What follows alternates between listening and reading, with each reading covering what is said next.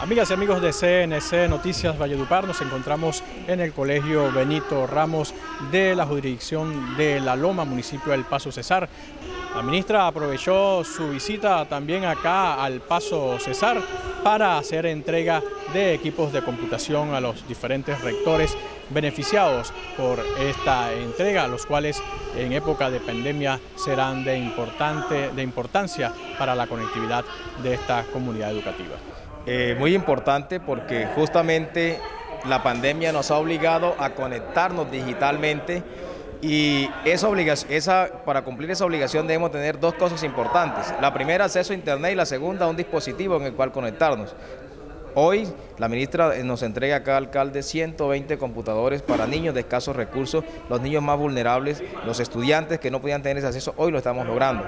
Además de eso, con la ministra hemos, hemos logrado conectar las escuelas rurales, donde más difícilmente podían tener acceso. Desde el mes de marzo en nuestro municipio de Bosconia logramos conectar todos los colegios rurales a través de este gran proyecto de, este, eh, del Ministerio de las TIC, conectó a nuestras escuelas rurales con acceso a Internet. Yo creo que el ministerio que más se ha acercado al Cesar y que ha estado con nosotros es el Ministerio de las Tecnologías, porque en este momento también nos encontramos desarrollando el acceso a Internet a sectores urbanos, darle a la población vulnerable acceso a Internet a un costo inimaginable, que tengan todos acceso porque la meta de este gobierno nacional es tener a todos los hogares conectados.